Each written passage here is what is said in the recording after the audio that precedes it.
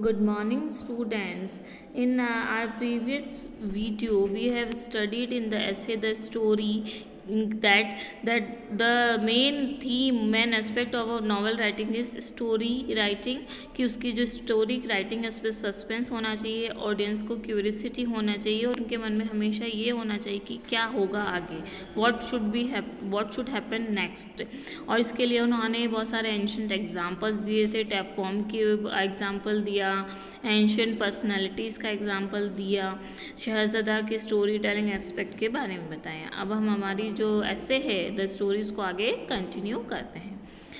When we isolate the story like this from the nobler aspect through which it moves and hold it out on forceps wriggling and interminable the naked worm of time it presents an appearance that it both unlovely and तो यहाँ पे author कहना चाह रहे हैं कि अगर हम हमारी जो स्टोरी टेलिंग एस्पेक्ट है, उसको अलग कर दें हमारे इस नॉवलर एस्पेक्ट को अलग कर दे, जिसके थ्रू स्टोरी या नॉवल आगे बढ़ता है।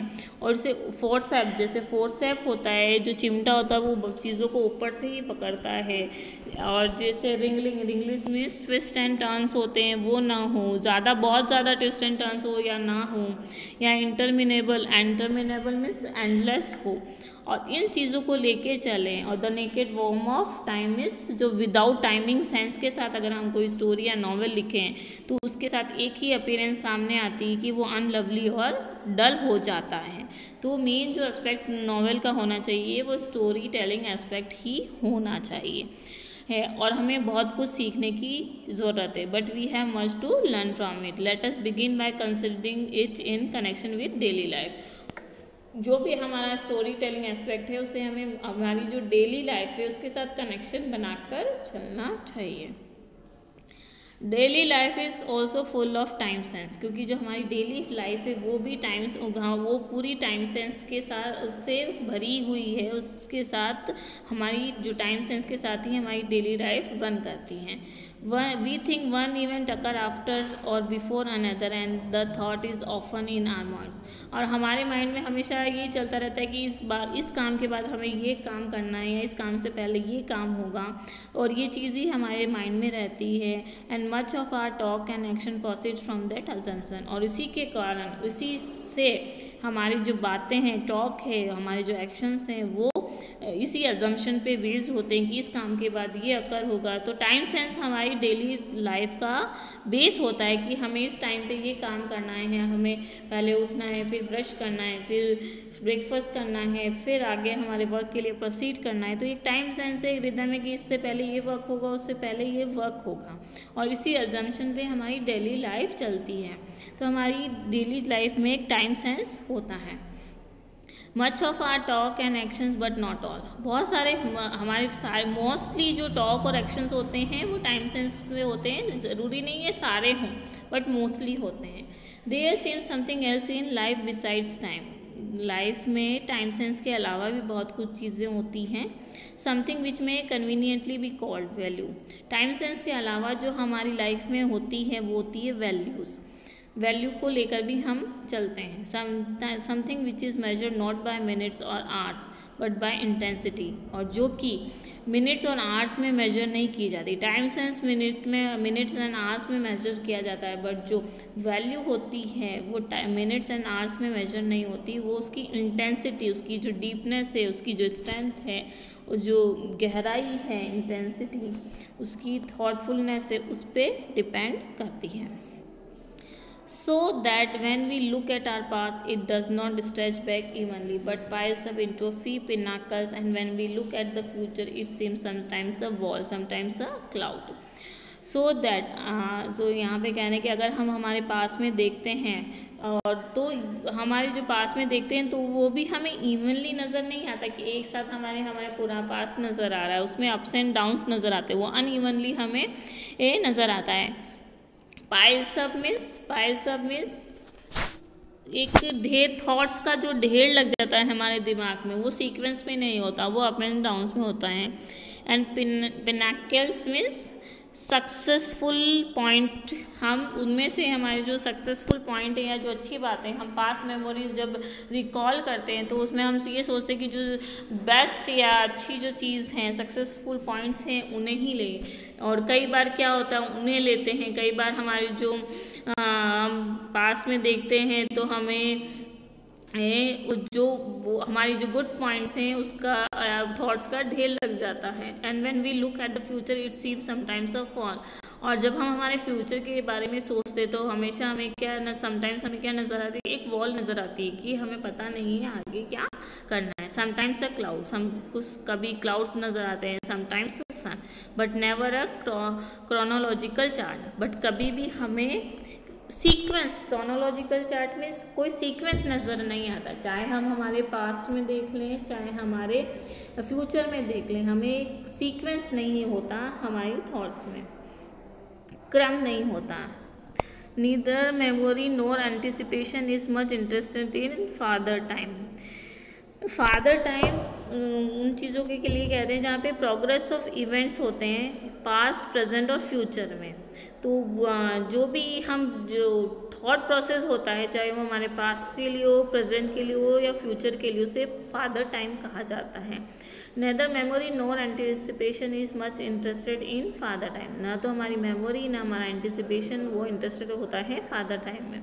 And all dreamer artist and lovers are partially delivered from his tyranny और जो ये जितने भी ड्रीमर्स होते हैं आर्टिस्ट होते हैं लवर्स होते हैं, वो एक तरह से टायरनी होते हैं, उनमें कहीं ना कहीं टायरनी होती है। He can kill them but he can not secure their attention वो उन्हें किल कर सकते हैं बट उनकी अटेंशन उन्हें सिक्योर नहीं होती।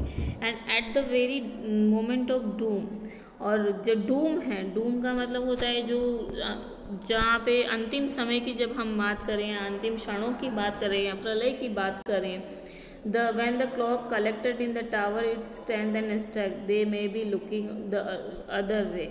और ये सभी जो यहाँ पे ऑथर कहना चाह रहे हैं कि जो भी स्टोरी टेलिंग एस्पेक्ट्स होता है, उसमें क्यूरियसिटी होनी चाहिए। जैसे कि हमें हमारे पास्ट और फ्यूचर को लेकर सीक्वेंस नहीं होती बट उसमें क्यूरियसिटी होती कि क्या हुआ या क्या हुआ होगा।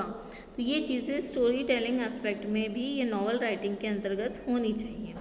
So daily life whatever it may be really is practically compose of two lifes और जैसे कि ऑथर ने ऊपर डिस्क्राइब किया कि जो हमारी डेली लाइफ है, उसमें टू थिंग्स होती हैं टाइम एंड वैल्यू उसी को लेकर हमें हमारी जो लाइफ है, वो पार्शली टू थिंग्स से बनी हुई है the life in time and the life by values life है हमारी टाइम में और जो वैल्यूज़ हैं लाइफ के जो वैल्यूज़ के द्वारा जो लाइफ बनी है उससे कंपोज होती हैं। And our conduct reveals a double एग्लियन allegiance allegiance means loyalty और हमारा जो कंडक्ट uh, है वो इसे शो करता है। इसके प्रति हमारी लॉयल्टी शो करता है। किसके प्रति? टाइम के प्रति एंड वैल्यू के प्रति। I only saw her for five minutes but it was worth it जैसे कि कभी हम कहते हैं कि आई, मैंने उसे सिर्फ़ पाँच मिनट देखा बट वो काफ़ी था, वो वर्थ इट था। There you have both allegiances in a single sentence इस सिंगल सेंटेंस में आपने लॉयल्टी को शो किया है। कि आप जो चीज़ कर रहे हो, देख रहे हो, उसमें टाइमिंग भी है थोड़ी सी देर के लिए ही चाहे से देखा, लेकिन उसमें कोई वैल्यू थी, वो वर्थ इट थी तो उसमें आपने एलिगेंस शो कर दिया है। And what the story does is to narrate the life in time और ये जो स्टोरी करती है, वो यही चीज़ करती है कि वो नरेट द लाइफ इन जो लाइफ है उसको टाइम में नरेट करती हैं। And what the entire novel does if it is a good novel is to include the life by values as well और जो नावल एंटायर जो नावल होता है, वो क्या करता है? अगर वो एक अच्छा नावल है तो उसमें इस टाइम सेंस के साथ लाइफ इन टाइम के साथ लाइफ बाय वैल्यूज़ भी होती हैं। Using devices hereafter to be examine और इन डिवाइजेज को यूज़ करके वो एक अपना नावल राइट करता है स्टोरीज़ के साथ। So it also pays a double allegiance और इसी के साथ वो भी अपनी डबल लॉयल्टी पे करता है नॉवल राइटिंग में, allegiance means loyalty. But in it the novel the allegiance to time is imperative no novel could be written without it और जो नावल होते हैं, उसमें जो लॉयल्टी टू टाइम होती है, इस it is very imperative means vital importance होती है। इसके बिना कोई भी नावल नहीं लिखा जा सकता। Where is in daily life the elegance may not be necessary और जबकि ज़रूरी नहीं कि हमारी डेली लाइफ में एलिगेंस हो। We don't know and the experience of certain mystics suggest in that it is not necessary and that we are quite mistaken in supposing that Monday is followed by Tuesday और death by टिके। तो वो कह रहे हैं कि ज़रूरी नहीं है टाइम सेंस में करना ज़रूरी नहीं है। अगर हम ये सोचते हैं कि मंडे जो है मंडे के बाद ट्यूसडे आता है डेथ के बाद डिक्के आती हैं तो यहाँ पे हम मिस्टेक कर रहे हैं। हमारे, हमें लॉयल्टी तो देखनी है सीक्वेंस तो देखनी है बट ज़रूरी नहीं है ये हमारी डेली लाइफ में हो। तो इसके थ्रू ऑर्डर कहना चाह रहे हैं कि ज़रूरी नहीं हो कि उसमें ये सारी चीज़ें एक साथ हो बट ये चीज़ होनी चाहिए कि जो स्टोरी टेलिंग एस्पेक्ट है वो प्रॉपरली डन किया जाए। या यूज़ किया जाए।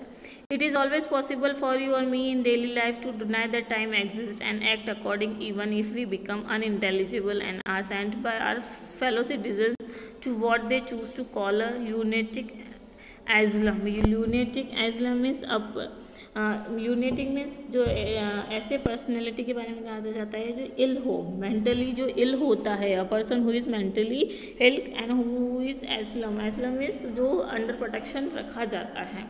तो हमारी लाइफ में हमेशा ये पॉसिबिलिटी रहती है कि हम टाइम एग्जिस्टेंस या अन चीज़ों के बारे को इग्नोर करें। But it is never possible for a novelist to deny time inside the fabric of इस नॉवल हम हमारी रूटीन लाइफ में डेली लाइफ में तो टाइम के एग्जिस्टेंस को डिनाई कर सकते हैं। कई बार अप्स एंड डाउन्स हो जाते हैं बट नॉवल में हम टाइम सेंस को कभी भी डिनाई नहीं कर सकते। एक नॉवलिस्ट के लिए पॉसिबल नहीं है। He must cling however lightly उसे क्लिंग मीन्स होल्ड टाइटली उससे टाइम सेंस को नॉवल में पकड़ कर रखना होता है मतलब उसको होल्ड करके रखना होता है नॉवल लिखते समय to the thread of the story जो कि स्टोरी के धागे से बंधा होता है। He must touch the interminable tapeworm otherwise he become un unintelligible और उससे उसको uninterminable means endlessly tapeworm से बाँध कर रखना पड़ता है। मतलब स्टोरी में टाइम सेंस के साथ उसे बाँध कर रखना पड़ता है तभी हम रीडर्स में क्यूरियोसिटी को जगा सकते हैं। अदरवाइज़ वो क्या होगा? आ, अगर वो अनइंटेलिजिबल हो जाता है इन चीज़ों का ध्यान नहीं रखता तो वो नॉवल एक ब्लंडर हो जाता है। I am trying not to be philosophical about time, for it is experts assure us a most dangerous hobby for an outsider. Far more fatal than plays, and quite eminent metaphysicians have been dethroned through referring to it improperly. तो यहाँ पे author कह रहे हैं कि मैं philosophic नहीं हो रहा हूँ टाइम के बारे में कि नॉवल में टाइम सेंस होना चाहिए स्टोरी टेलिंग राइटिंग में बट ये आउटसाइडर्स के लिए बहुत ही डेंजरस हॉबी है। इट इज़ बहुत ही ज़्यादा फैटल है, ख़तरनाक है।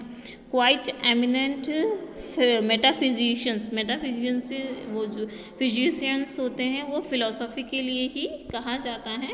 फिलोसॉफिकल पॉइंट ऑफ़ व्यू के लिए कहा जाता है। और एमिनेंट मीन्स फ़ेमस जो फ़ेमस होते हैं फिलोसॉफिकल थॉट में, उनके लिए कहा जाता है। तो वो ये चीज़ अच्छे से कह सकते हैं रेदर देन द ऑथर वो कह रहे हैं कि मैं इतना फिलोसॉफिक नहीं हूँ टाइम सेंस के बारे में इतना अच्छे से नहीं जानता, जितना कि एमिनेंट मेटाफिजिशियंस जानते हैं। And they have dethroned dethroned means remove from the power क्योंकि अगर उन्होंने इम्प्रॉपरली कुछ बातें कही हैं तो अगर हम नॉवल में भी कुछ इम्प्रॉपर बातें कहें या डल हो जाए मोनोटोनस हो जाए तो उसे हम हटा देते हैं। उसी तरह से टाइम सेंस नहीं होगा। अगर सही तरीके से उसकी बातें नहीं कही होंगी तो वो हटा दिया जाएगा या रिमूव कर दिया जाएगा लाइफ से।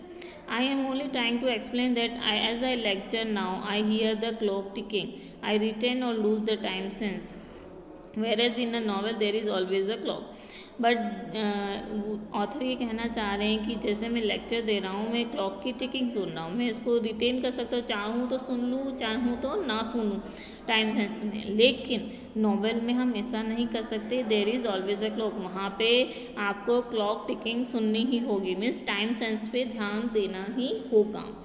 The author may dislike the clock और चाहे ऑथर क्लॉक को डिसलाइक करे बट उसे उसका ध्यान रखना ही होगा। Emily Bronte in Wuthering Heights try to hide hers Emily Bronte एक ऑथर थी जिन्होंने विदरिंग हाइट्स लिखा था और उन्होंने उसमें अपने आप को हाइड करने की कोशिश करी।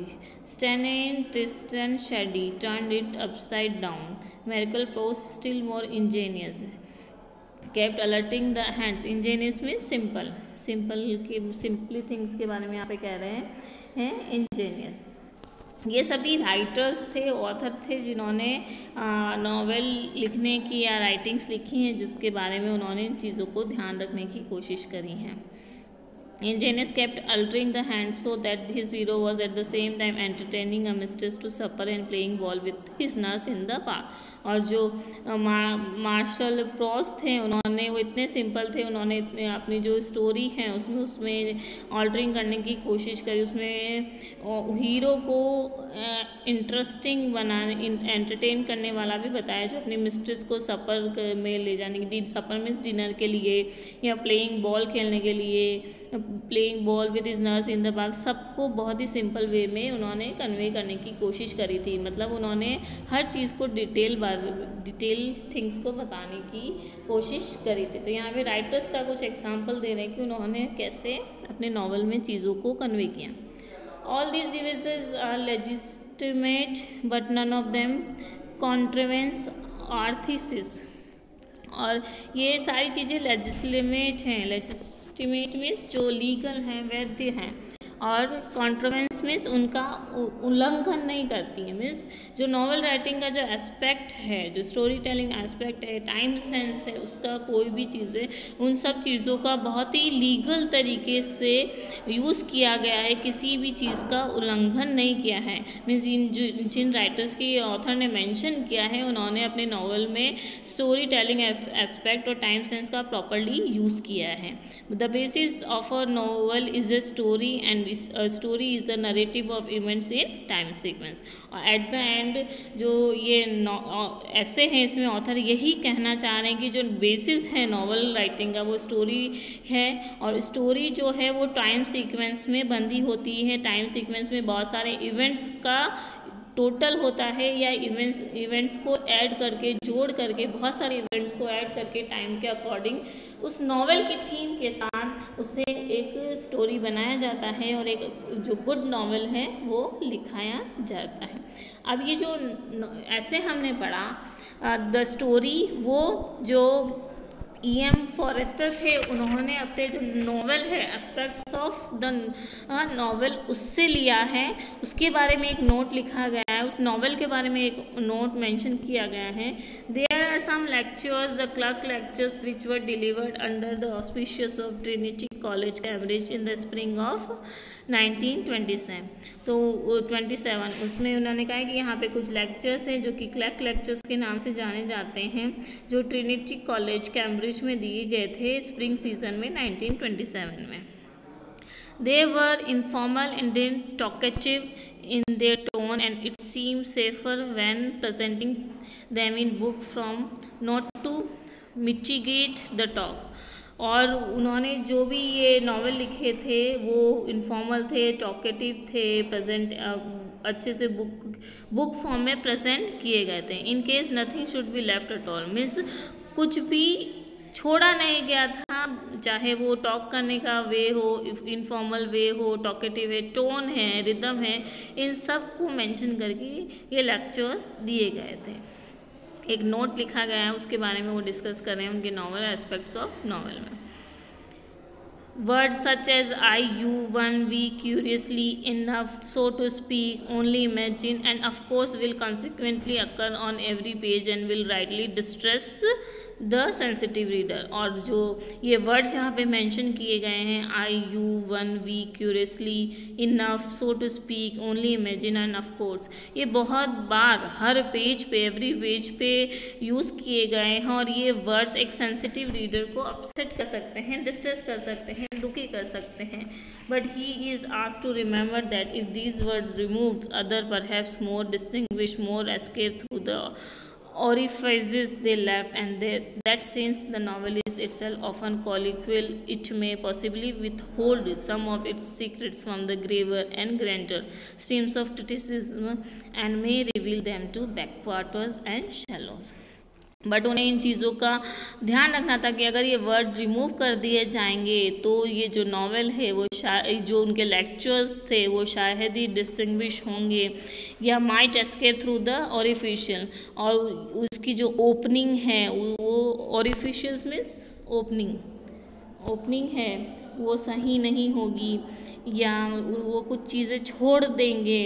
And that novel is itself often colloquial और वो एक नावल अपने आप में ही क्या ऑर्डनरी बन जाएगा। जो लेक्चर्स हैं या जो थाट है, वो अपने आप में ही ऑर्डनरी कन्वर्सेशन बन जाएगा। It may possibly withhold some of its secrets from the grave और ये जो भी पॉसिबिलिटीज़ हैं सीक्रेट्स हैं it should be it should be taken from the graver and grander streams of criticism और ये सब चीज़ें जो स्ट्रीम ऑफ़ क्रिटिसिज्म हैं उनसे आ, उनसे होल्ड करके रखनी होती है विथ होल्ड करके रखनी होती हैं and may reveal them to backwaters and shallows means that has to be connected means there should be the streams backwaters and shallows generally कहा जाता है normally is a part of a river which has less current मतलब जो backwaters होते हैं, वो जो main river होती है, उसकी जो ब्रांचेस हम कह सकते हैं। तो इसी तरह जो स्टोरी टेलिंग एस्पेक्ट्स होता है नॉवल का, वो उसकी ब्रांचेस होती हैं, उसमें सीक्रेट्स होने चाहिए सीक्वेंस होनी चाहिए टाइम सेंस होनी चाहिए।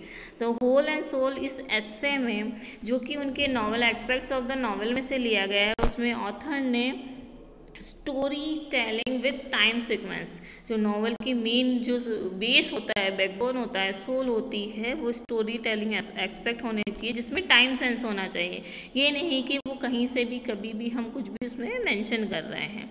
जिस तरह की शहजादा ने अपनी जो one thousand and one Arabian Nights है, उसमें अपने हस्बैंड से अपने हस्बैंड से बचने के लिए, उस, उसकी जो क्रूअल्टी है टायरनी उससे बचने के लिए, उसमें जो क्यूरियसिटी डेवलप की थी, सब सस्पेंस डेवलप किया था उससे उसी तरीके से हमें नावल में इन क्यूरियसिटीज़ को सस्पेंस को डेवलप करना चाहिए विथ टाइम सेंस और सीक्वेंस और यहाँ पे जो शहजदा की जो स्टोरी टेलिंग की हैबिट्स थी, उसके बारे में मेंशन किया गया है, उसे भी हम एक बार रीड आउट कर लेते हैं। और जो उनकी जो कलेक्शन है, जो प्रिमेटिव ऑडियंस है, उसमें उस, उसके अकॉर्डिंग इन्हें जो नाम दिया गया था the one thousand one Arabian Nights the one thousand one Arabian Nights is a collection of stories loosely link together जो कि बहुत ही लूजली एक दूसरे से लिंक करती हैं। Narrated by a young girl Shahzada. She was the daughter of wazir or minister who had to serve a peculiar king. और ये जो शहजादा थी वो एक वज़ीर की डॉटर थी मिनिस्टर की डॉटर थी जो कि एक बहुत ही क्रूअल किंग के वज़ीर थे the king married on a daily basis his wife was always beheaded after the wedding night और जो किंग थे, वो हर डेली नाइट डेली बेसिस पे मैरिज करते थे और वेडिंग नाइट के बाद मॉर्निंग में अपनी वाइफ को छोड़ देते थे। शहजादा tells, her father that she wish to marry the king लेकिन शहजादा है जो अपने फादर से कहती हैं कि वो उस उसको उनसे मैरिज करना चाहती हैं। He reluctantly agrees reluctantly means बहुत ही निराशा के साथ डिसअपॉइंटेड वे में उस एग्री हो जाते हैं शहजादा की बात से। She tells the king an interesting story on their wedding nights and make sure to stop at an interesting point at the crack of dawn और वो, जो शहजादा थी, वो किंग को हर डेली नाइट को एक इंटरेस्टिंग स्टोरी सुनाती थी और ये मेक श्योर sure करती थी कि वो एक, जब भी सुबह हो क्रैक ऑफ़ डॉन हो, भोर हो तो वो स्टोरी को इंटरेस्टिंग पॉइंट पे छोड़ देती थी स्टॉप कर देती थी। The king is unwilling unwilling to execute her because he wants to hear the ends of the story और जो किंग है, उसे छोड़ नहीं पा रहा था क्योंकि वो हर रात उस स्टोरी का जो एंड है, वो सुनना चाहता होता है। This scheme was extremely risky ये स्कीम रिस्की तो थी but Shahzada is successful in continuously linking stories over many nights until finally the king accept her as his queen and stops the horrible practice of executing his wife और ये scheme risky तो थी, लेकिन जो शहजादा है, वो अपने story telling aspect में क्यूरियसिटी डेवलप करने में सक्सेसफुल हो जाती हैं। और ये चीज़ें वो बहुत सारी नाइट्स तक करती रहती हैं। जनरली शायद में भी इसीलिए जो स्टोरी या नावल का, को one thousand one Arabian nights कहा गया है। शायद एक हज़ार एक अरेबियन नाइट्स तक कही गई होंगी, इसीलिए इन्हें one thousand one Arabian nights name दिया गया है। तो वो जो शहजादा हैं, वो सक्सेसफुल हो जाती हैं स्टोरी टेलिंग और जो क्यूरियसिटी है किंग की डेवलप करने में। और जब तक वो स्टोरी कहती रहती है, जब तक कि उनका जो किंग है, वो उसे अपनी क्वीन के रूप में एक्सेप्ट नहीं कर लेता। और उसकी उनकी जो हैबिट थी कि हर डेली बेसिस पे वो मैनेज करता था और नेक्स्ट मॉर्निंग में एवरी वेडिंग नाइट के बाद वो अपनी वाइफ्स को छोड़ देता था। उसने वो हैबिट छोड़ दी है और वो शहजादा सदा को क्वीन के रूप में एक्सेप्ट कर लेता है। इस तरह से ये नावल इस ऐसे में जो है ऑथर ने अपने नावल के कुछ डिस्क्रिप्शन और जिस स्टोरी के एंशन प्रिमिटिव थॉट को उन्होंने डिफ़ाइन करने की कोशिश करी है, वो बताने में सक्सेसफुल भी रहे हैं और उन्होंने बहुत ही क्लेवरली ये बताने की कोशिश करी है कि जो नावल का स्टोरी टेलिंग एस्पेक्ट है, वो बहुत ही पुराने टाइम से प्रिमिटिव टाइम से चला आ रहा है और ये ही मेन थी वे किसी भी ऑडियंस को कैच करने की। अगर अगर ऑथर राइटर चाहते हैं कि उनके जो नावल हैं या जो भी राइटिंग्स वो करते हैं, वो क्यूरियस में क्यूरियसिटी बनी रहे। और ये क्यूरियसिटी तभी बनी रहेगी जबकि नावल में स्टोरी टेलिंग एक्सपेक्ट हो टाइम सेंस के साथ और उसमें ऑडियंस को ये क्यूरियसिटी रहे कि क्या होगा आगे व्हाट शुड हैपन नेक्स्ट तो यहाँ पे आई होप ये ऐसे जो है यहीं फिनिश हो रहा है और आपको ये ऐसे क्लियर हो गया हो।